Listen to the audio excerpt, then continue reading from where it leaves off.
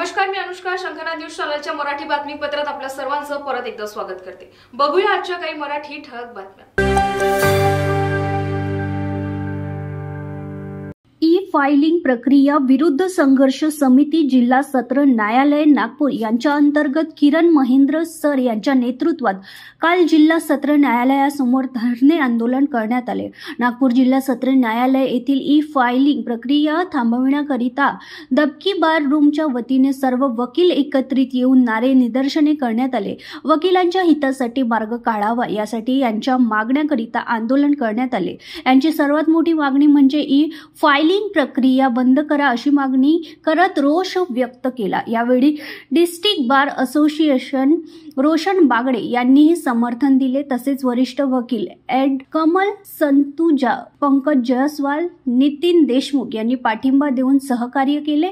Advocate e filing प्रक्रिया बंद करून वकिलांच्या हितासाठी मार्ग काढावा याकरिता धरणे आंदोलन करण्यात आले. कॅमेरामॅन प्रवीणसह सनी भोंगाडे शंखनाद न्यूज नागपूर.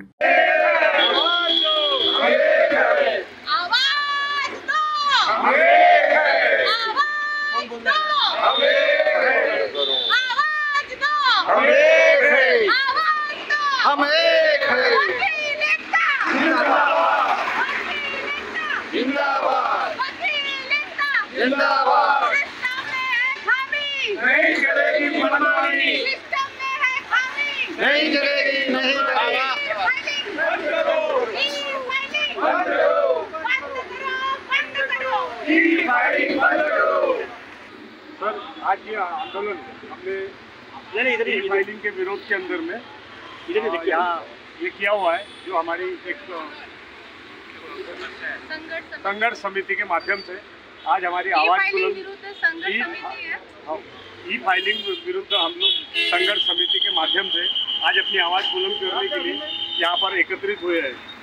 कल हमने पत्रकार भवन के अंदर में कल पत्रकार परिषद लेकर भी पत्रकारों को इस बारे में हमने जानकारी दे दिए थे कि भाई आज हमारा आंदोलन शांतिप्रिय ढंग से हम यहाँ करने वाले हैं। ई फाइलिंग जो सरकार ने हमारे विरुद्ध लागू की है पूरे देश के अंदर पूरे देश के अंदर में अगर लागू हुई है वो तो सारे देश के अंदर में वो लागू होनी चाहिए।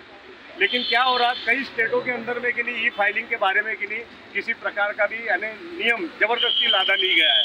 जैसा गुजरात हो गया मध्य प्रदेश हो गया उत्तर प्रदेश हो गया लेकिन महाराष्ट्र के अंदर में जो हेतु पुरस्पर और ज़बरदस्ती ये ई फाइलिंग का जो के लिए क्या हो गया? जो सरकार ने ई फाइलिंग लागू तो कर लिया, लेकिन यहाँ के सिस्टम के पास में सफिशियंट इंफ्रास्ट्रक्चर जो उन्होंने ई फाइलिंग के लिए यहाँ मौजूद करने को होना था, वो चीज़ें नहीं की। तो सबसे पहले तो यह है कि सरकार जो ज़बरदस्ती हमारे ऊपर में ये नियम लागू कर रही है कि भाई जिसको भी अपनी पिटीशन फ़ाइल करना है या जिसको भी यहाँ पर ई फाइलिंग करना है। वो सिर्फ़ ई फाइलिंग के माध्यम से ही करे। हम चाहते हैं हमारा ई फाइलिंग के लिए विरोध नहीं है। लेकिन हम चाहते हैं कि ई फाइलिंग के साथ में इन्होंने के लिए फ़िज़िकल फाइलिंग भी लेना चाहिए।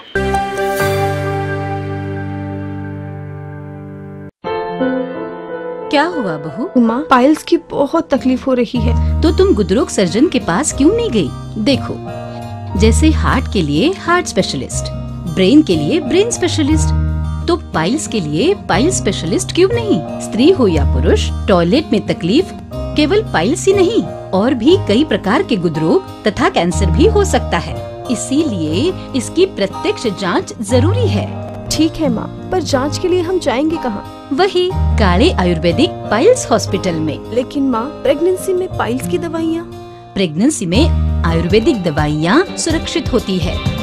जनहित में जारी काले आयुर्वेदिक पाइल्स हॉस्पिटल, औषधि चिकित्सा तथा सर्जरी ट्रीटमेंट उपलब्ध। हमारा पता, Umred road, Dighori bus stop के पास नागपुर। अधिक जानकारी के लिए वेबसाइट आरोप जाए काले पाइल्स हॉस्पिटल डॉट कॉम